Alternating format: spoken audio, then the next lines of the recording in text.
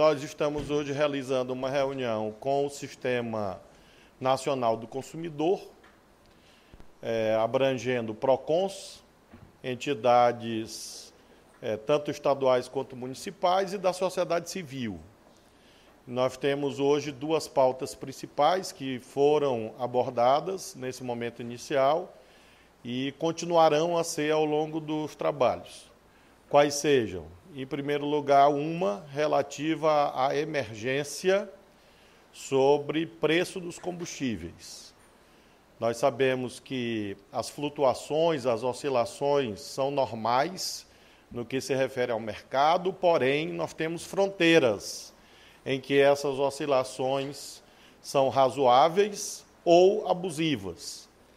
Então, ao longo do dia será fixado um prazo de cinco dias para que as entidades estaduais, municipais e da sociedade civil informem a Secretaria Nacional do Consumidor a ocorrência de eventuais práticas abusivas, que podem se traduzir desde ah, o chamado cartel, ou seja, a padronização de preços em cidades ou estados, regiões, ou mesmo na grande discrepância que já se verifica em alguns locais do nosso país. Então, nós estamos acompanhando essa temática, a bem da verdade, desde janeiro, e agora nós temos uma mudança de regulação, com uma parcial reoneração da cadeia, mas isso não enseja reajustes abusivos. Então, o Sistema Nacional do Consumidor vai atuar conjuntamente com as entidades municipais e estaduais fornecendo informações e a Secretaria Nacional do Consumidor, por ser uma lesão aos consumidores de âmbito nacional, atuando em relação a esses eventuais abusos que venham a ser informados pelas entidades estaduais e municipais. O segundo tema, igualmente importante, que marca essa reunião do Sistema Nacional do Consumidor, é aquele relativo ao superendividamento. Nós teremos em breve o lançamento pelo presidente Lula do programa chamado Desenrola, um programa voltado à renegociação dessas dívidas. E essa reunião hoje visa que o Sistema Nacional do Consumidor se integre a esse esforço, uma vez que nós temos no Código de Defesa do Consumidor, a partir da Lei 14.181 de 2021, um instrumento para que haja uma espécie de renegociação dessas dívidas, consolidação e parcelamento. Então, nós estamos hoje num duplo movimento em relação ao superendividamento. O primeiro, eh, nós estamos estudando e propondo uma revisão do decreto presidencial que fixa os parâmetros do chamado mínimo existencial. Hoje, esse mínimo existencial, por decreto preteritamente editado, é do valor de 303 reais por cidadão. Ou seja, se considera que um cidadão pode se superendividar e ele pode pagar desde que sobre para ele 303 reais. E nós consideramos que este parâmetro é inadequado. Há duas ideias: uma, elevar esse valor, porque se nós temos uma política social hoje relançada do Bolsa Família no parâmetro de 600 reais, é claro que o mínimo existencial não pode ser de 303 reais, porque há, no mínimo, uma incoerência entre uma política social que garante uma renda mínima de 600 reais e, ao mesmo tempo, um decreto que fixe o mínimo existencial no valor de 303 reais. Ou seja, Provavelmente, uma das propostas que sairá é esta de revisão desse valor, elevando para proteger o consumidor. Ou seja, o que deve sobrar para o consumidor após ele pagar suas dívidas, as dívidas deve ser mais do que 303 reais, obviamente. Há outras propostas de que não haja fixação no decreto presidencial de um valor. Nós estamos examinando isso ao longo do dia. O certo é que haverá um incentivo a esse mecanismo de negociação. Então, o primeiro movimento do Ministério da Justiça, Secretaria Nacional do Consumidor, sobre superendividamento é dar eficácia ao Código de Defesa do Consumidor mediante a revisão desse parâmetro chamado mínimo existencial, para que ele, no mínimo, não seja de 303 reais e seja, portanto, é, possivelmente elevado por, por um novo decreto presidencial. O outro movimento que nós estamos fazendo é a estruturação do trabalho conjunto de atendimento aos consumidores. Nós vamos firmar uma parceria com o Conselho Nacional de Justiça. Tivemos a presença do ministro Buzzi, do Superior Tribunal de Justiça, que coordena esse tema no âmbito do Poder Judiciário, para que haja uma ação conjunta de atendimento aos cidadãos e cidadãs superendividados abrangendo seja unidades do Poder Judiciário ou os PROCONs, para, para que com isso haja portas abertas aos consumidores, a fim de que eles possam trazer as suas demandas, e para isto o Ministério da Justiça vai lançar, disponibilizar um recurso de 15 milhões de reais para apoiar os PROCONs.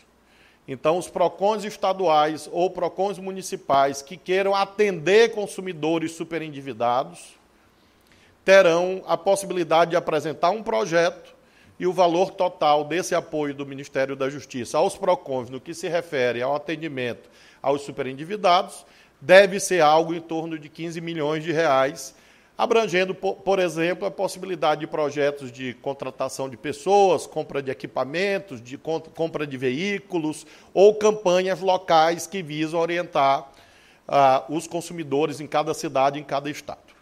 De modo que são os principais itens que movimentam essa reunião sobre direito do consumidor e eu me coloco à disposição se houver algum questionamento.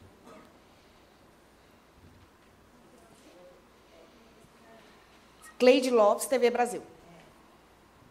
O senhor falou ah, anteriormente lá que seriam liberados é, recursos para fortalecer os PROCONs. Seria esse valor de 15 milhões? Esse é um valor total para todos os PROCONs do Brasil e cada PROCON tem que apresentar um projeto? E quanto que seria para cada PROCON? É, nós teremos um escalonamento à luz das realidades locais e à luz dos projetos que foram apresentados.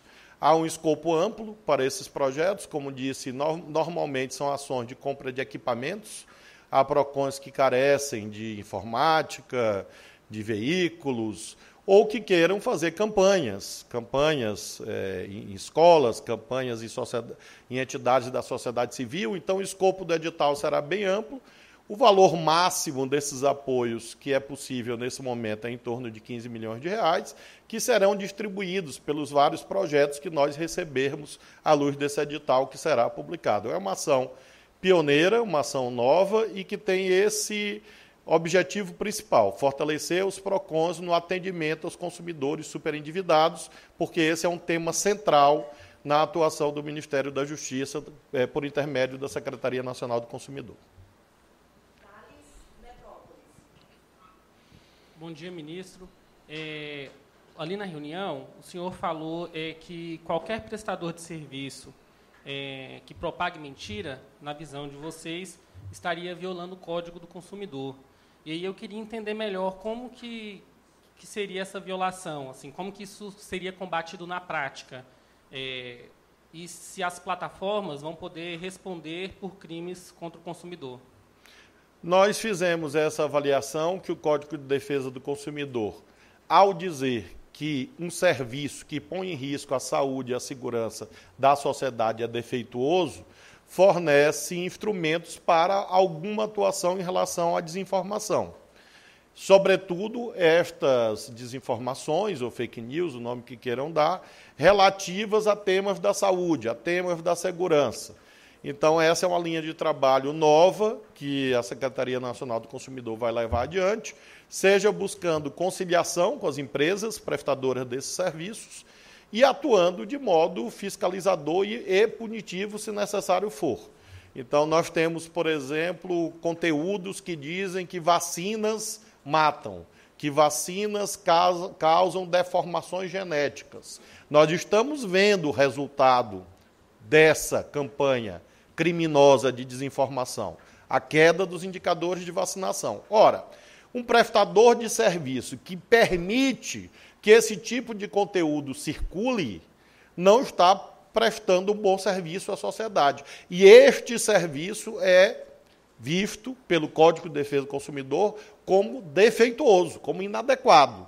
Então, sim, além de tudo que a Secretaria Nacional do Consumidor já faz, nós temos a introdução desse, dessa temática do superendividamento como um tema principal e, junto com ele, essa atuação nova em que a Secretaria Nacional do Consumidor e o Sistema Nacional vai também atuar em relação às circunstâncias em que a desinformação seja intencional, dolosa, criminosa, pondo em risco esses dois valores, saúde e segurança da população.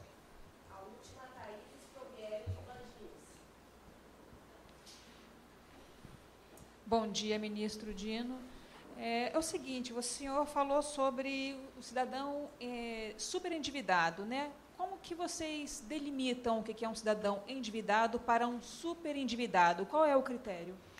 O critério hoje vigente é aquele em que o cidadão, ao pagar suas dívidas, não consegue prestar, é, assegurar é, sequer 303 reais. Esse é o parâmetro. Então é considerado superendividado a pessoa que não dispõe sequer do chamado mínimo existencial. Esse mínimo existencial hoje está fixado em 303 reais. Este é o valor que nós estamos propondo a elevação. Nós já formalizamos isso ao ministro Haddad, essa reflexão, porque ele que conduz, obviamente, a política de crédito no Brasil, e eu, o Ministério da Fazenda está analisando esse tema junto conosco. Que nós estamos sugerindo é que, como disse, uma das hipóteses é que esse valor seja elevado para que aquilo que o cidadão obrigatoriamente preserve nas suas mãos seja mais do que 303 reais. Isso vai permitir que o Poder Judiciário ou os PROCONs possam dizer aos fornecedores de crédito, a, a quem emprestou o dinheiro, amigo, amiga, dizer a ele este consumidor não pode pagar de uma vez só a sua dívida, porque ele tem que preservar o mínimo existencial. Esse mínimo existencial hoje é de 303 reais por pessoa. Nós estamos propondo a elevação disso. Há quem sugira que esse valor dobre, há quem sugira que esse valor triplique, enfim. Mas que o cidadão, cidadã tenha um direito indeclinável a um valor. E o que sobra desse mínimo existencial, o que ultrapassa esse mínimo existencial, seja alvo de um parcelamento, que diz a lei que pode ser de até cinco anos. Então, esse é um instrumento legal, existente do, de, desde 2021, para proteger os consumidores mais frágeis, mas que infelizmente não saiu do papel. A finalidade principal dessa reunião é garantir o caminho pelo qual essa legislação importante para proteger os consumidores mais frágeis os consumidores mais vulneráveis tenham efetividade. E nós consigamos que os PROCONs se somem ao Poder Judiciário nesse caminho de tentar a conciliação ou o arbitramento das dívidas, exatamente como a senhora indaga. Uma coisa é o consumidor endividado. Provavelmente muitos aqui nessa sala assim estão. Outra coisa é o consumidor superendividado. O consumidor superendividado é um consumidor que, se nós fôssemos usar a linguagem do direito empresarial, ele foi à falência. Ou seja, as dívidas dele são tão altas que ele não consegue garantir nem 303 reais se ele for pagar tudo. E o que, que a lei diz? A lei diz que ele tem uma proteção. E é esta lei que nós precisamos colocar na prática. E esse é o objetivo dessa reunião. Nós estamos discutindo, quem coordena o debate é o ministro Haddad, uma vez que isso envolve um diálogo, inclusive, com as empresas, bancos, instituições financeiras, de um modo geral, porque nós temos que fazer uma ponderação em que protegemos os consumidores superendividados, mas não levamos a uma retração do crédito no Brasil. Então, é preciso que nós possamos debater qual é esse parâmetro. Nós temos hoje duas propostas sobre a mesa. Uma emanada da sociedade civil em que defende que esse valor não seja fixado em decreto presidencial e seja fixado pelo juiz caso a caso. Ou seja, seja aferidas as circunstâncias pessoais daquele consumidor para definir o que é mínimo existencial naquele caso concreto. Essa é uma proposta. A outra proposta é que mantenha o valor fixo, mas que esse valor não seja de somente 303 reais, porque, obviamente, nenhuma pessoa consegue prover as suas necessidades básicas com 303 reais. Quem diz isso? A lei, na medida em que fixou o valor do Bolsa Família em 600.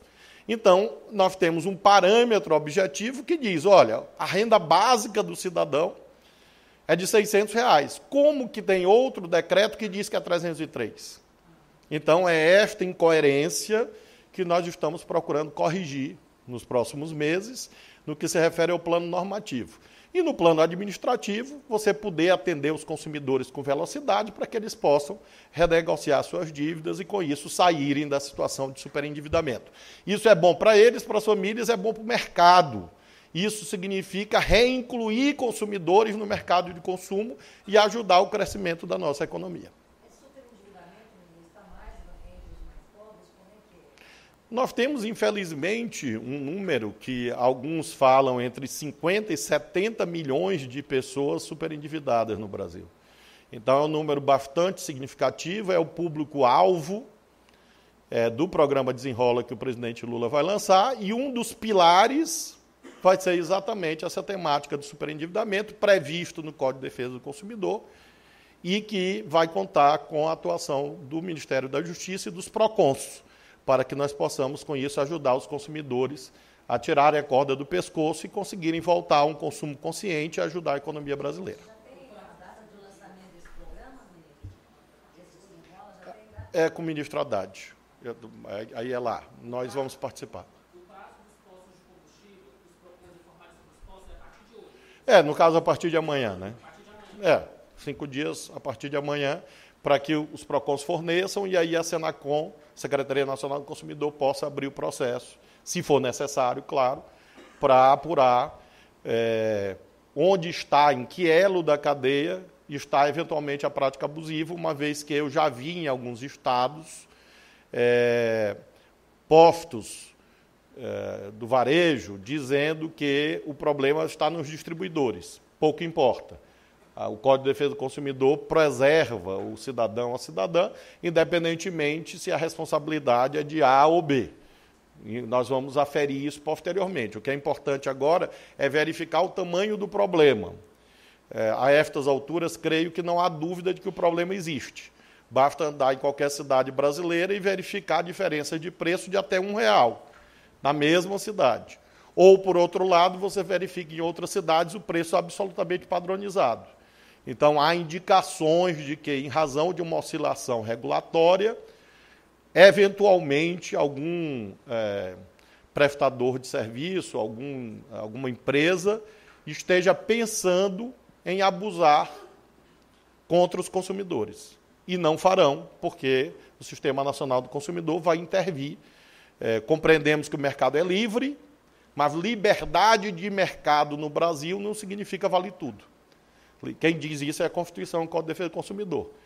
Ou seja, a livre fixação de preço não permite qualquer coisa, porque você tem a fronteira do abuso. Então você pode ter fixação de preços desde que não incorra em violação ao Código de Defesa do Consumidor. Obrigado, pessoal. Hã?